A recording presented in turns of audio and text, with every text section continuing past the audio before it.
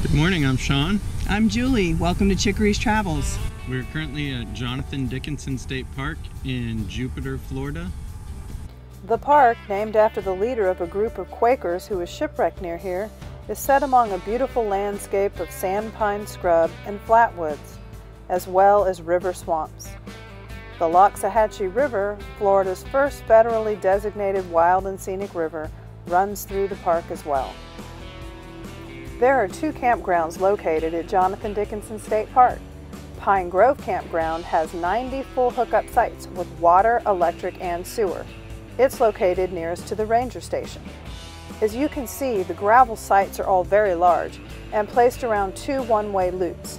Each loop has two bathhouses with a washer and dryer. Also, each site has its own picnic table and fire ring. Here you can see the size of the site based on our 42-foot fifth wheel. Four miles from the park entrance near the Loxahatchee River is the River Campground, which has 54 smaller sites with water and electric.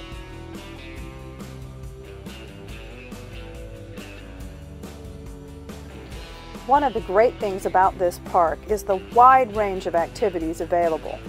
Over by the river, there's a large picnic area with a playground. At the concessionaire, you can rent bikes, boats, and kayaks to take out on the river. They also sell t-shirts, snacks, and they even have a food truck outside by the patio.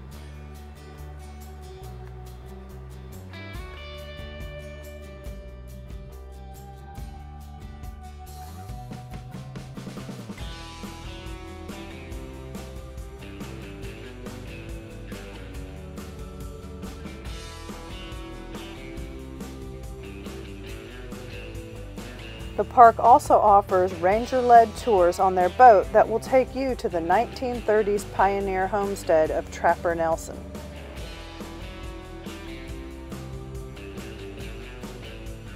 There's even a swimming area along the river, but the alligator warning kept me from wading in. For bike enthusiasts, the park offers paved multi-use trails, as well as the Camp Murphy off-road bicycle trail system which is a nine mile network of mountain trails with loops rated from beginners all the way to black diamond experts only. Finally, there's plenty of hiking to be found among the three scenic nature trails that wind through the park. And for another perspective, take a walk up Hobe Mountain, which at 86 feet above sea level is the highest point in southeast Florida.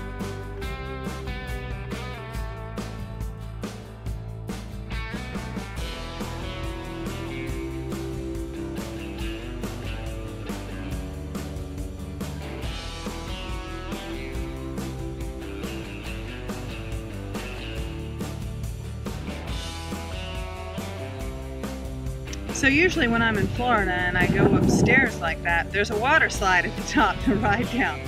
And not here. Just a view. A nice view though.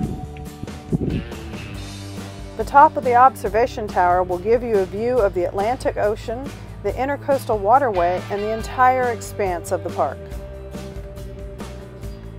From here you can also see remnants of Camp Murphy, which housed the Southern Signal Corps' top secret signal school during World War II.